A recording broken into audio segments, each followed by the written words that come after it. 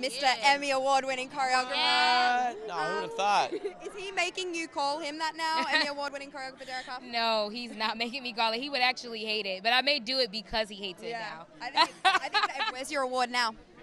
It's actually in my trailer right now. Yeah. Have you got like a full security team watching it? Or? I I've, I have it on a rotating thing uh-huh. with oh. with With the light. With the light. with the light and music. you know, I guess you carry around your award at these parties, and I was at the AMC party, and and my, I was kind of like, I don't, I don't want to walk around with it. Like I feel, it feels weird. Like I don't know. And then Aaron Paul was like, dude, walk around with that everywhere tonight, all right? Because any other night it'll be weird, but tonight it's not weird. All right, to own that. And he was so he was so cool. True. But And then so- you have a dance off at that party as well? I did, yes. It was kind of cool. Dean, uh, yeah, I just saw him and he was dancing, and Aaron was like, "Dude, go go in there," and I was like, "All right, all right."